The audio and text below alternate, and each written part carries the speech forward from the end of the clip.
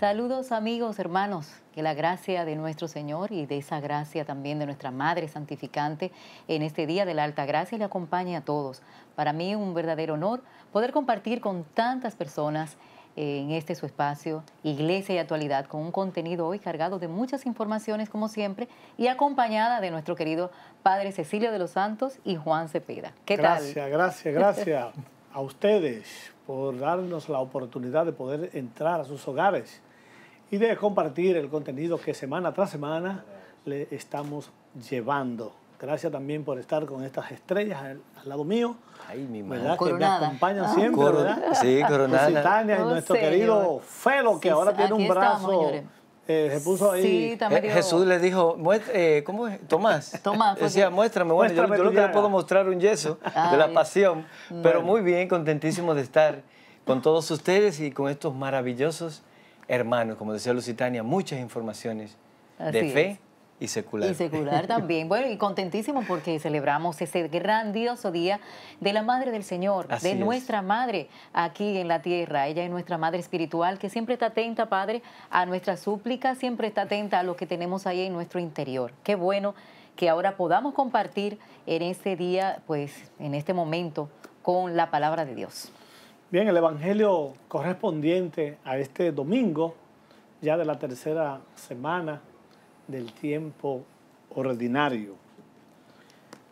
Al enterarse Jesús de que habían arrestado a Juan, se retiró a Galilea. Dejando Nazaret, se estableció en Cafarnaún, junto al mar, en el territorio de Zabulón y Neftalí, por medio, por medio del profeta Isaías tierra de Zabulón y tierra de Neftalí, camino del mar al otro lado del Jordán, Galilea de los gentiles.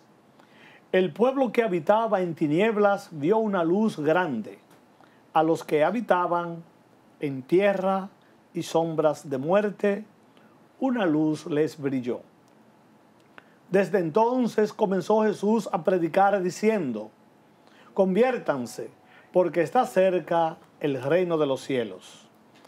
Paseando junto al mar de Galilea, vio a dos hermanos, a Simón llamado Pedro y a Andrés, que estaban echando la red en el mar, pues eran pescadores. Les dijo, vengan en pos de mí y les haré pescadores de hombres. Inmediatamente dejaron las redes y lo siguieron. Y pasando delante vio a otros dos hermanos, a Santiago, hijo de Zebedeo, y a Juan, su hermano, que estaban en la barca repasando las redes con Zebedeo, su padre, y los llamó. Inmediatamente dejaron la barca y a su padre y lo siguieron. Jesús se recorría toda Galilea enseñando en sus sinagogas, proclamando el Evangelio del reino y curando toda enfermedad y toda dolencia en el pueblo. Palabra del Señor. Gloria, Gloria a ti, Señor Jesús. Es bueno recordar, mis queridos hermanos y mis hermanas, que después que ha pasado el tiempo de la Navidad, ya estamos eh, proclamando el Evangelio correspondiente al tercer domingo del tiempo de tiempo ordinario. Y si hacemos memoria del domingo pasado, que seguía la figura de Juan el Bautista en torno al inicio de las señales milagrosas o del ministerio público de Jesús después del bautismo, vemos que el Evangelio que hoy- hemos proclamado trae la misma tónica, porque Jesús cuando se bautizó realizó el primer milagro en las bodas de Caná, ¿verdad? De Galilea, convierte el agua en vino y hace que estos jóvenes que se iban a casar o que se casaron celebraran con un buen vino multiplicado por Jesús. Y después sigue Jesús recorriendo las aldeas de Galilea, ¿verdad? La ciudad de los gentiles, al otro lado del Jordán, predicando el Evangelio y realmente él mismo siendo testigo de lo que ha venido al mundo a realizar, a ser testigo de Dios y a hacer visible el proyecto de Dios Él es luz del mundo. Por donde Jesús pasa, queda todo iluminado. Por eso quien le recibe, pues también recibe la luz de Dios, la luz de Cristo, y también Él mismo se convierte en luz. Y vemos esta generosidad de Jesús, de que quiere que su reino se haga extensivo. Y por eso llama a los primeros cuatro discípulos. Antes de llamarlo, hace una invitación, querido Felo y querida Lucitania, del llamado a la conversión. Dice, conviértanse porque el reino de Dios está, cerca. Está cerca. Pero ese estar cerca no es que viene próximo, sino que el reino de Dios está entre ustedes, ¿verdad? Yo soy el reino de Dios. Él es el reino de Dios. El reino ha llegado a ustedes y llamó a los primeros cuatro discípulos, ¿verdad? Andrés, Simón, a Santiago y a Juan, para hacerlos pescadores de hombres. ¿Qué le parece a usted? Qué bueno, padre. Muy interesante. Y, Lusitania, eh, visto, ¿verdad? Ya la semana pasada, lo del bautismo, quiere decir que eh, ya es el inicio en el terreno de la vida pública de Jesús. Correcto. ¿Y de qué manera? ¿Y de qué manera? ¿De qué manera? Eh, Jesús no perdía tiempo, no perdió tiempo. No, para nada, para nada. Pero antes de eso, antes de todo, oró. ¿Verdad? Antes oró para tener la sabiduría, para saber elegir y sobre todo para poder resistir todo lo que venía de por medio. Y ahí está la manifestación, pues, Lusitania y, y queridos hermanos y padres, del llamado, de la invitación que ya usted decía, de la conversión. Qué maravilloso. Usted como que quería hacer una preguntita, al padre. Claro, y de verdad muy interesante, padre, porque al uno ver, como tú decías, Pedro, como usted decía, de que ese terreno ya para evangelizar, el Señor ya estaba totalmente preparado. Obviamente, ¿verdad? Nuestro Jesús, eh, Hijo de, Dios Altísimo, y, qué bendición tan grande que podemos nosotros, Padre, hacer para nosotros obrar como lo hizo Jesús con ese amor y con esos llamados, y ese llamado tan, con tanta autoridad que Él lo hizo de, de esa conversión, cómo nosotros podemos ejercerlo en este tiempo tan difícil que vivimos. Sí, y nosotros hoy en el segundo bloque vamos a, tratar el tema porque el Papa Francisco ah, en la audiencia nos habla de la identidad, de, la, evangelización. Exacto. Así es. Pero yo quiero recalcar algo que decía este Felo, y no solamente en esta ocasión, sino que Jesús cada vez que hacía una actividad siempre era precedida por un momento profundo de oración.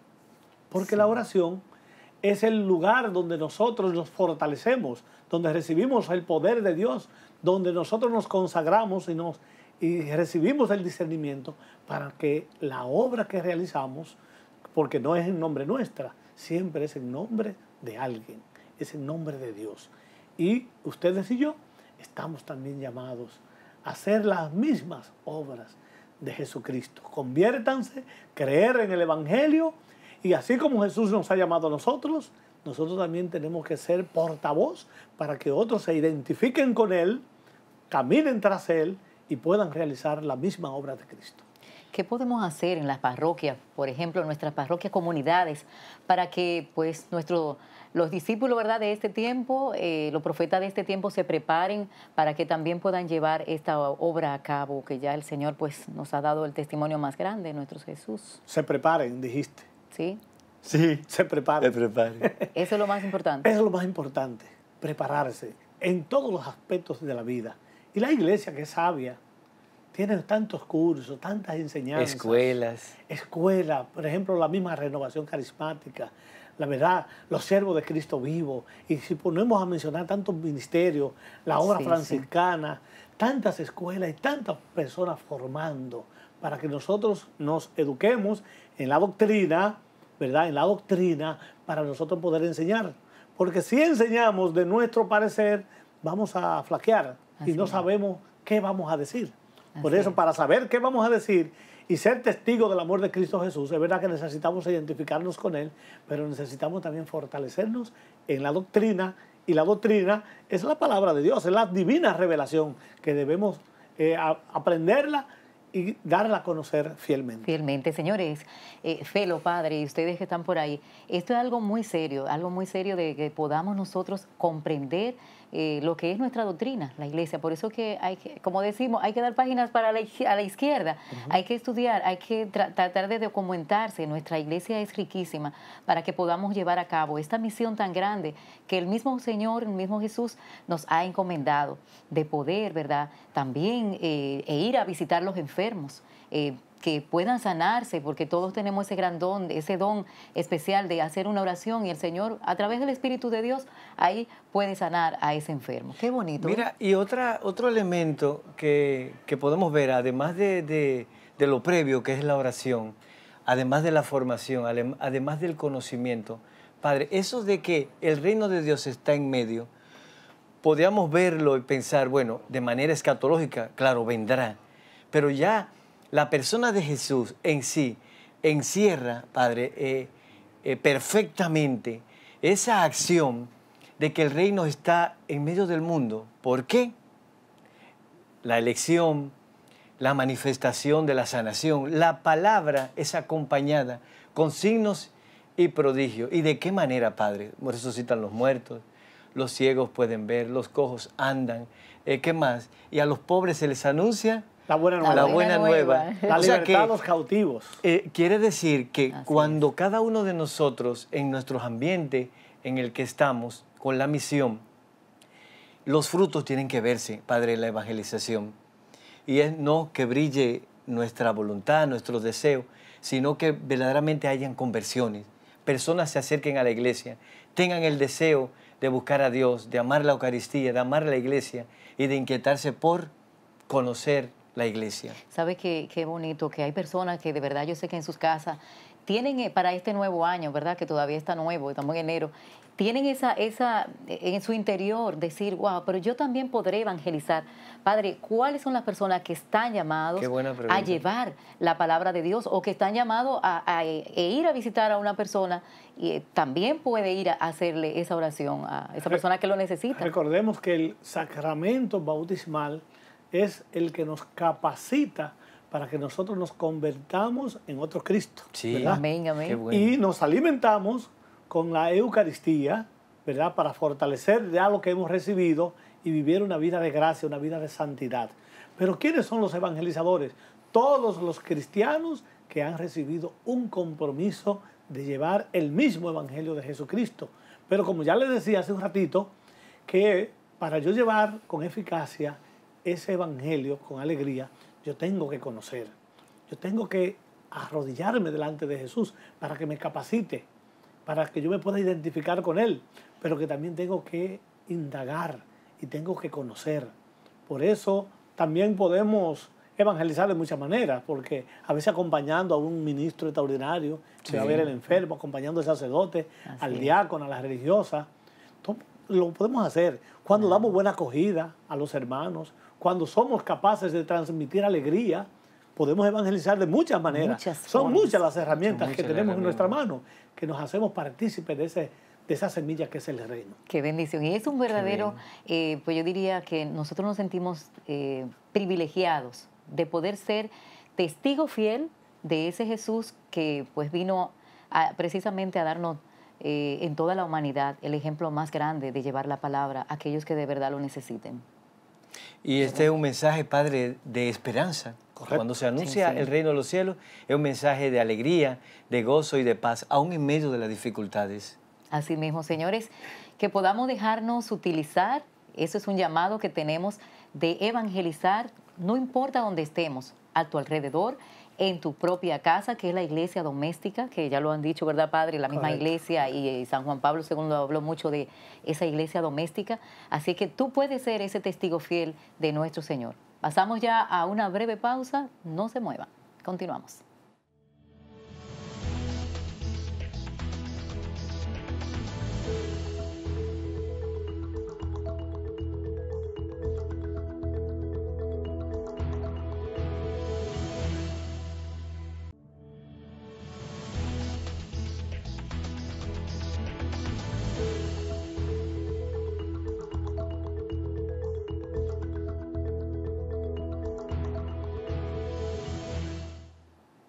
Queridos hermanos, qué bueno que están nueva vez con nosotros en este ya segundo bloque y de qué manera vamos a ver en esta catequesis el Papa Francisco continuando ese ciclo que ya inició.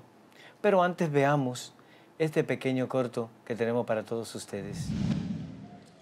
Queridos hermanos y hermanas, en el ciclo de catequesis dedicadas a la pasión por evangelizar, que comenzamos el miércoles pasado, hoy reflexionamos sobre la persona de Jesús, que es el modelo insuperable de todo evangelizador.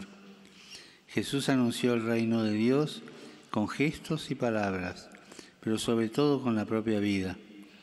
Él es el buen pastor, que no se conforma con cuidar a las ovejas que están en el rebaño, sino que sin medir los sacrificios va en busca de las que están alejadas y están perdidas.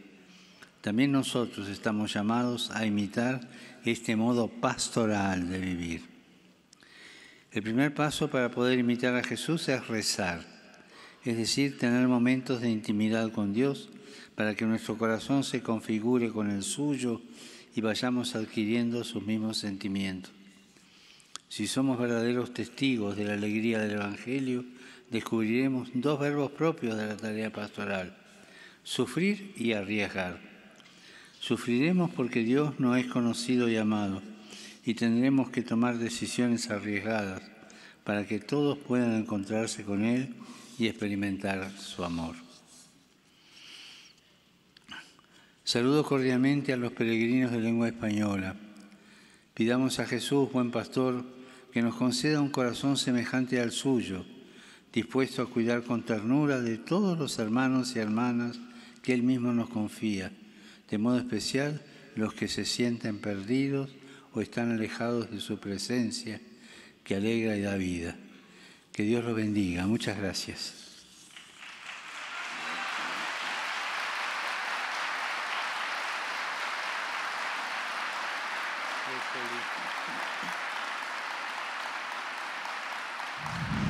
Y como le decíamos, queridos hermanos, es grato poder decirle que, que ya en, esta es la segunda, eh, el segundo tema sobre la evangelización, afianzado que la pasión por la evangelización, el celo apostólico del creyente, Jesús, modelo del anuncio. Y algunos elementos que me quedan de esta reflexión del Papa.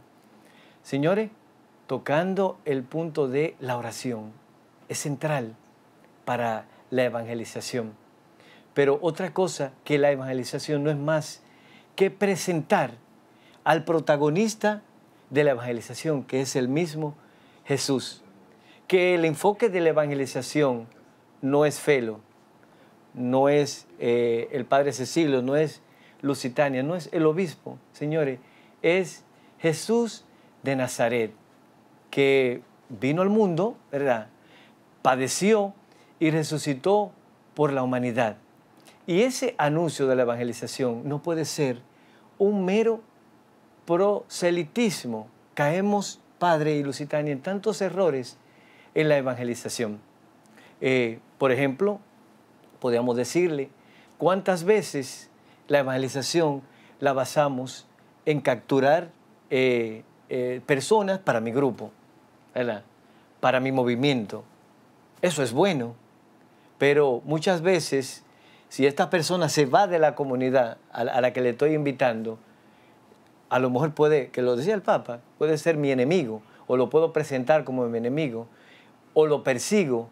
La evangelización no es más, señores, que dejar, dejar que los sentimientos de Jesús se manifiesten por obra del Espíritu Santo para nosotros captar almas para Dios. ¿Qué dicen mis hermanos? Así mismo, padre. Bueno, yo creo que sí, interesante. hay un tema ahí muy importante, que porque el Papa habla de la pasión, pasión. la evangelización. Entonces, yo creo que lo primero que tenemos que entender a raíz de lo que el Papa nos hace, nos invita, pasión, eh, revisar mi vida, cómo ando yo por el Evangelio. ¿Me está moviendo Jesús a cambiar mi vida? a dedicarme con Él, porque yo no puedo tener una pasión simple y llanamente por decirlo. O sea, tengo que vivirlo. Asumir, ya decía Felo, los propios sentimientos de nuestro Señor Jesucristo. Entonces, yo tengo primero que todo convencerme de que Jesús me está llamando a mí. Amén. ¿Verdad? Convencerme con, con ello para darlo todo por Él y seguir cada día hacia adelante dando lo mejor de mí. Porque yo no puedo estar apasionado sobre algo que yo no me identifico. Por eso quien no siente amor, quien no siente como esa alegría de hablar de Jesús y de ser testigo de Cristo Jesús, entonces tiene que seguir arrodillado, tiene que seguir orando para que el Señor le dé ese ardor que necesitamos todos para que seamos un apasionado de Él, como lo fueron los apóstoles, como lo fue San Pablo, como lo fueron tantos santos y santas en la historia, que fueron inclusive hasta capaces de dar la vida por Él. Pero ya lo decía nuestro hermano Felo y también el Papa lo decía ahí, que lo primero que tenemos que hacer para ser como Cristo es rezar. Ir a los pies de Jesús en la oración para que Él nos capacite, para que podamos tener pasión por Él. Exactamente. Qué belleza el ejemplo tan lindo que, que puso también pues su santidad del Papa, de que, o sea, el Señor es el buen pastor, ese buen pastor que no solamente cuida, eh, cuida las ovejas, sino que sale en busca de ellas, sale en busca de ellas. Yo creo que ese ejemplo eh, me encantó ese ejemplo que puso el Papa, porque verdaderamente... Dice que no solamente se puede encargar de las que están ahí, de que están ahí sino, que, va sale, atrás. Sale en busca de, las demás y de las que están escarriadas. realmente, ahí lo especificó como lo dice la palabra. O sea que no podemos, nosotros como evangelizadores, eh, debe apasionarnos, como ya decía el padre Cecilio, en la evangelización. Y qué bueno que podamos estar atentos, así como ese Jesús, el buen pastor, que no solamente está atento, como dice el Padre ahora mismo, de las que están cercanas, sino de aquellas que se sienten perdidas sin horizontes. Es muy importante estar atentos. Sí, y otro elemento, señores, el, el Papa lo ve como un pastoreo, y es así. El pastor es celoso con sus ovejas, con su rebaño. Eh, entonces, el hecho de ir y dejar ir, Padre, ese, esa es una acción. Claro, pero ese ir trae como consecuencia también eh, dificultades, esfuerzo. está la cruz, porque, bueno, señores, ustedes saben que, que en, el, en el recorrido eh, se pueden presentar los lobos, se pueden presentar los improvistos que, que, existen, se pueden presentar nuestras debilidades y hay que eh, no tener miedo, no tener miedo. ¿Por quién? Pues ya lo decía el Padre Cecilio, porque el modelo, porque el modelo porque el producto, si se puede decir, que estamos presentando no es a nosotros mismos, es al Señor y Salvador, es al, es al Mesías que le viene a mí y a los demás a traer vida y a dar vida. Lo que pasa, me, encanta ese, ese, enfoque que tú haces ahora mismo, porque, y el Papa lo resalta, porque nosotros al encontrarnos con el Señor, Jesús nos da alegría, Jesús nos da ánimo, nos da esperanza. Qué bueno servir al Señor. Pero esa alegría y ese qué bueno servir al Señor no siempre nos lleva por un camino de alfombras y de alabanzas y de aplausos. Nos encontramos también, el Papa lo resalta textualmente, el sacrificio y los riesgos por el amor al, al Evangelio. Y yo creo que un, elemento fehaciente de esto que estamos diciendo es el mismo apóstol Pablo, que fue encarcelado por el Evangelio. Y en la cárcel dice que eh, estaba alegre, cantaba al Señor y el sufrimiento que ofrecía y que él vivía, lo ofrecía para completar la pasión de Cristo. Por eso, queridos hermanos y mis hermanas, si tenemos un día que sufrir por amor al Evangelio, recuérdense que es parte también del seguimiento de Jesús. Claro. Y el Señor nos da la fuerza para nosotros resistir. Y no usemos solamente el Evangelio como una especie de protector, como para que no me pase nada, como si fuera una cosa de esas que hacen los, hechiceros. Eh, tú tienes que escudarte. No, el Evangelio significa asumir el compromiso de Jesús, pero si es asumir el compromiso de Él, Él no se escapó, él fue calumniado, fue maltratado, fue sometido a la muerte. Lo hizo con amor para redimir, redimirnos desde la cruz. Fue, fue realmente, bueno, si podemos analizar, como el Papa también lo decía, que fue un sacrificio sin medidas, eh, el sacrificio del Señor. Y es por eso que debemos imitarlo en todo. En ese modo de también de evangelizar, debemos imitar a nuestro Señor. Ya lo hicieron los grandes profetas, los apóstoles, también ya, ya lo hicieron. Fíjense que es algo que que es como una línea que, el Señor, a través del Señor nos están bajando y que debemos poner, eh, estar atentos, como yo decía ahorita, y tener nuestro corazón despiertos, porque es como, como ya ustedes lo han dicho aquí, señores, e, es un camino no, no de, de que yo me voy a quedar en la casa y que todo va, a ser nada más color de rosa, ¿verdad? Es un camino de, sacrificio, es un camino que vamos a encontrar muchas espinas, como decimos. O sea que debemos nosotros eh, revestirnos de ese Espíritu Santo de Dios y saber que debemos imitar a Jesús, ese Jesús que lo dio todo. Hay un canto ahí de los hermanos de la renovación, me dice que si tú dices que amas al Señor, ah, sí. que se te note. note, que, se, te, note, que tú tienes y que se te note, sobre todo cuando aparecen las espinas, Exacto, cuando aparecen las situaciones difíciles en la vida, que se te note, que la alegría, nada ni nadie te la debe de quitar. Así mismo, tiene que notarse. Qué bonito. Una de, las cosas también eh, maravillosas de la, de la, evangelización, Padre, eh, y que tenemos que tener, tener en cuenta, eh, todo el que tiene esa pasión por la evangelización, es que eso no es nuestro. Lo que nosotros anunciamos es un tesoro, una misión que nos las da Dios. Y Padre, no es, Lusitania y hermanos, no es para muchas veces ver los resultados de una vez porque eso no es suyo.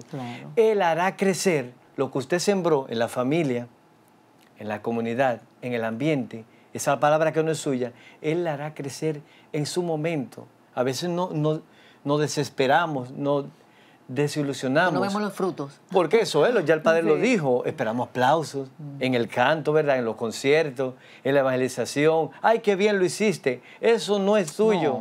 Usted lo anunció y da media vuelta. Y y, esto lo refuerza, Padre, lo que dice San Pablo. Si predico el Evangelio, no tengo de qué gloriarme. Todo el mérito es de Dios. Somos obreros que no tenemos nada por qué hacernos orgullosos. Todo el mérito es de Dios. El gran Pablo, que usted lo mencionaba. Sí, y, el, Evangelio tan claro, este porque la misión nuestra, ¿cuál es? La de sembrar la semilla.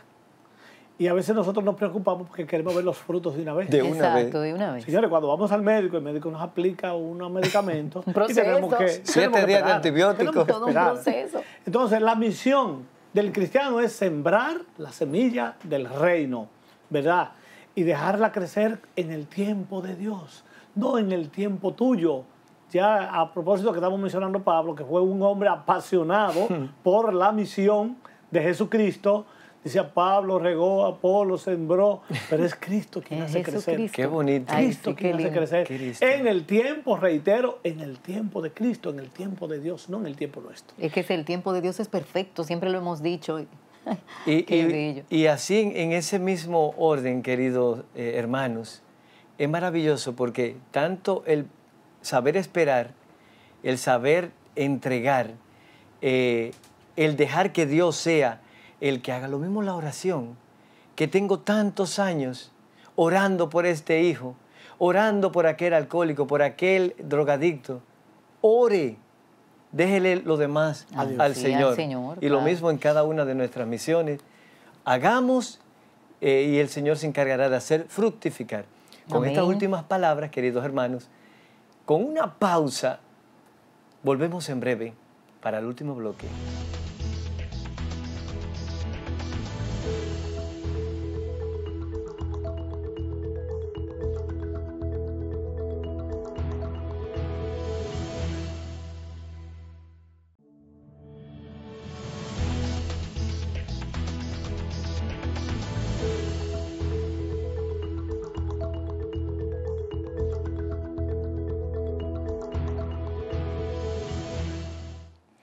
Gracias a todos por mantenerse con nosotros. Bueno, y como decíamos al inicio del programa, estamos regocijados, tenemos de verdad nuestro corazón muy alegre porque es un día especial de la Alta Gracia, nuestra protectora del pueblo dominicano, que estamos celebrando muchas actividades, Padre y Felo, muchos eventos, ¿verdad?, en honor de la Santísima Virgen, la protectora, la Alta Gracia de nuestro pueblo dominicano. Y yo creo que con esta fiesta que estamos celebrando, que acabamos de celebrar, ¿verdad? Como que clausuramos el tiempo de la ¿Verdad Navidad. que sí, de la Navidad? Porque, a mí me gusta decir que el tiempo de la Navidad es como, el tiempo de la Virgen es como una prolongación de la Navidad. Exacto, porque está el nacimiento, ya está adorando a Jesús. Y durante todo este mes de enero, señores, es apoteósico. Cómo se llena la Basílica de la Alta Gracia ya. Eh, la gente llevándole una devoción, haciendo una promesa y, en tono con nuestra Madre la Virgen. Así mismo. y, en ese, y en ese orden, eh, así mismo, ¿cuántas parroquias ¿Cuántas comunidades pues iniciaron sus novenas, sus nueve días de preparación para esta gran fiesta? Eh, también peregrinaciones y demás. Así, Padre, que todos los Altagracio o Altagracia, felicidades. Hay Altagracio. ¿En serio? Felicitaciones. felicitaciones. Altagracia también. Yo conozco, ¿verdad? Y José Altagracia le han puesto. Y Tata. Y, Tata, la Virgen. Miren, señores, también eh, nuestro canal Televida. Eh, todos los días esa, esa, esa novena. Qué bonito fue. Yo estuve chequeando. Maravilloso. Muy bonita y presentando todo al Señor. Y también tenemos, eh, eh, también tenemos un rosario muy bonito. Eh, va a ser, se llama Entre Amigos. Rosario entre Amigos por la Alta Gracia en la Catedral Castrense. será hoy a las 7 de la noche. Eso en la Santa Bárbara, en la ciudad colonial. Es un rosario muy lindo entre amigos por este día tan maravilloso el día de Nuestra Señora de la Alta Gracia. Y más actividades eventos tenemos. Señores, y además de las actividades religiosas, eh, recordar eh, las familias que fueron afectadas por ese derrumbe que ocurrió en La Vega, ese negocio que se, dedicaba a vender eh, artículos, muebles y demás que colapsó. El lamentable se cuenta que falleció una persona y seis personas heridas entre la fallecida una, una, mujer de 23 años y los heridos los que andaban cerca de, eh, próximo a esa edificación. Paz al alma de esta, de esta, de esta, dama que falleció, sí. La verdad que fue una tragedia, ¿verdad? Muy terrible, padre. Ahí cerca, próximo a la catedral, Así Inmaculada Concepción de la Vega, de manera que nos solidarizamos con este evento que pasó en esta semana y esperamos de que las autoridades sigan mirando las estructuras viejas que tenemos para que esta cosa no se repita. Que, no debió realmente pasar porque según pues lo que uno ha escuchado, eh, ya se le habían dicho que realmente eh, ese edificio de cuatro pisos ya había sufrido tenía un incendio. problemas y de hecho había tenido un incendio y que en ese mismo instante recuerdo que le dijeron que había que realmente eh, restaurarlo, hacerlo bien porque podía colapsar. Eso no debió pasar realmente, pero Padre, Qué eh, pena. una, un, eh, Muy penoso. Nuestro país adolece de, mucha supervisión. Y, créanme, existen los supervisores, existen eh, las áreas que tienen que velar. ¿Qué están haciendo? Bueno, hay que ver. No se pregunta. Hay que ver, hay, que velar por porque haya un buen funcionamiento en ese sentido. Sí, sí, sí, verdad. Adelante. Y también tenemos más noticias importantes, ¿verdad? Una de las que ha acaparado las redes sociales, no solamente en nuestra sociedad, sino en el mundo, es el reinado, ¿verdad? Miss Universo. Ay, sí, sí. sí, Estados, Unidos, Estados Unidos. Que nosotros quedamos como finalistas, segunda finalista, segunda finalista. Venezuela y República Dominicana. Y yo creo que uno de los reinados que ha tenido tantos comentarios. Muchos, porque. Muchos comentarios, porque parece que la forma en que se eligió no fue como la mejor, la más correcta. Y la verdad es que yo a veces me identifico con esa persona que tiene la corona y que es tan cuestionada, ¿verdad? Claro. Claro, ¿no, señores? Y también la, la forma en que se ha dicho que, que ya no es como antes, que, que era algo a veces no con muchas reglas. A veces no quien gana, a veces quién se le da. Sí, y, también, exactamente, eso, sí es verdad. Y que no es como, como, como antes, que era algo con mucha disciplina, ya pueden tener hijos, pueden, no tienen que ser casadas, pueden ser casadas. O sea, un montón de cosas que ya no es como, como antes, pues pero también detrás de, esta, de, estas fiestas, de estas cosas, también detrás hay una doctrina media rara también, el mundo del, feminismo, del, feminismo, el aborto, la ideología de género, todo ese tipo de cosas. Todas esas cosas la están metiendo por ahí, exacto. Pero ahí está la información, no lo podemos dejar pasar por alto. No, exactamente. Señores, y en un comunicado, la Conferencia del Episcopado Dominicano, pues motivó a los legisladores para que se conozca en una asamblea, digamos, extraordinaria, el Código Penal que ya ustedes saben, tiene años, años. y años ventilándose. 20 Dios años. mío, 20, 20, ya. Ya no es menor, padre, ya 19. es mayor. Entonces, ya cumplió 10, 20. de verdad que con eso se ha jugado mucho y es bueno que sea un código como debe ser, que se castigue todo lo que se debe castigar y que se deba incluir aquellos elementos esenciales para que tengamos pues, un código fuerte y sano. Sí, eh, parece que el episcopado está pidiendo como a una comisión extraordinaria Exacto. que lo revise Claro. para que ya se apruebe. Ya. Los políticos no tienen voluntad para aprobar el nuevo código Es penal. lamentable. Y señor, es la sociedad que necesita este código. Nosotros lo necesitamos, realmente. Así Padre, y salió de la cárcel Jean Alain, Wow. el ex procurador. Bueno, había que esperarse, sí, como que saliera, porque recordemos que tiene 18 meses de medida de coerción. De coerción, que- que se le cumplió. Que no es que está descargado. Y el hecho de salir de la cárcel no significa que está libre. Exacto. Exacto. Simplemente se le cambia la medida de, el, ¿cómo se llama? Eh, sí, es, es La de medida- coerción. exacto. Y entonces va a prisión De prisión domiciliaria. domiciliaria. Con el grillete, como hay también otras Presentación personas. periódica. Exacto, sí, no, el juicio sigue. Y 50 No, exacto. El juicio millones de pesos. Y yo realmente digo lo siguiente, al respeto. A mí no me interesa que estén presos. No me interesa que estén presos. Me interesa que se juzguen. Claro. Y bien. Y que si se, se encuentran culpables, que se le quiten todo ese dinero claro. y se le devuelva a la sociedad que a quien se le ha robado. No estoy diciendo que sea culpable o no, que se Así juzgue es. Y que se den las responsabilidades tanto a él como a todos los otros que están implicados en estos casos. Es un buen punto. Claro, eso es un exacto, porque es una eh, realmente eso es lo que se quiere. Porque no es que nadie se alegre de que estén, de que estén presos, no, sino que se devuelva. Pero lo- el- lo malo del caso, señores, es que no se devuelve, padre. No, y que realmente que ¿Eh? no se- el robo no y la devuelve. mala administración entorpecen el buen funcionamiento de una sociedad y el verdadero crecimiento de una sociedad. Lo entorpecen. Lo entorpece realmente, Lo claro. quitan, ¿verdad? Claro que sí.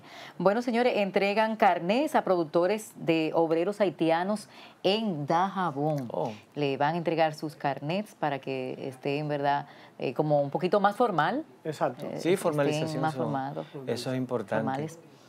Señores, y seguimos haciendo un llamado, Padre, eh, a toda la sociedad y a todos los, los organismos que tienen que ver con, con vigilar el tránsito y demás. Señores, cuánto ruido en las calles, motores, Padre, que tienen esas bocinas como si fueran de camión. Exacto. Señores, sí. y los ruidos con altos decibeles afecta gravemente la, la salud mental. Ustedes nunca han visto de que agarramos eh, tanto motoristas, ta- camiones o patanas porque hicieron ruidos eh, cerca de hospitales, que lo hacen, padre. Hospitales y clínicas, eso es inaguantable. Ahí la 27 de febrero, eh, cerca de por Gascue, ahí está la clínica, eh, creo que Otorrino. Esas patanas y esos sindicatos de transporte, e- eso es una bulla que llega hasta las oficinas gubernamentales y nadie le pone... eh, Eso es parte, de la, Stop a eso es eso, parte de la nadie contaminación le- ambiental. Es claro, Sí, eso, ruido eso sónico, eso es problema, contaminación. Es un problema de Y contaminación. los motoristas también, las luces intermitentes, esas luces LED Que de noche, ponen, que se sí. supone que no debieran usarlas. También eh, es bueno Y- tenerlo y en siempre cuenta la las autoridades. ¿sí? Exacto. Sí, la usan. Miren, señores, y hay, hay una, pro- una protesta, están protestando porque Oh. pues los pasaportes realmente, eh, para ir a sacar un pasaporte normal que uno lo hacía eh, en medio de una, menos En de me- una en una semana mañana. o No, una, mañana, mañana, bueno, sí. si era VIP, ahora no, ahora los pasaportes, si tú puedes ir a sacar, quieres ir a sacarlo, te ponen hasta cuatro meses, dos meses, tres meses, dependiendo, hasta No, cuatro que meses para tú sacar. Que la compañía encargada de emitir los, eh, ¿cómo se llama? La libretita. La libretita. libreta. Se ha agotado, se ha agotado y entonces ahora mismo pasaporte está este, extendiendo el mismo pasaporte que está vencido. Entonces le ponen un sello lo- y, y entonces lo extienden. Ah, lo están Y- extendiendo. pero yo creo que una de las cosas que las autoridades tienen que tener en cuenta, porque también en el aeropuerto había una oficina de pasaporte que se le ponía el sello y entonces se podía continuar de una vez. Deberán de abrir Pero otras oficinas. Ha pasado muchas veces todo, todo ese tiempo, pero ahora fue que se, se terminaron las libretas. Ah, fue que se agotaron. Pero la responsable es la compañía encargada de, de esto. Yo recuerdo hace como cuatro años que también pasó lo mismo. Sí. Había un caos que, de que no había Pero ahora hay un caos grande ahora mismo, porque no se emite el pasaporte de una vez. Así mismo. ¿Tú sabes lo que tres meses para tú sacar un pasaporte? Ah, es increíble. Pero yo creo que, bueno, pónganle ojo a eso, que sabemos que lo pueden solucionar. Señores, y haciendo una, como así, ganó el, el equipo ¿El equipito? ¡Azul! ¡Ey! ¡El azulito! ¿Eh? Una noticia importante. Ey.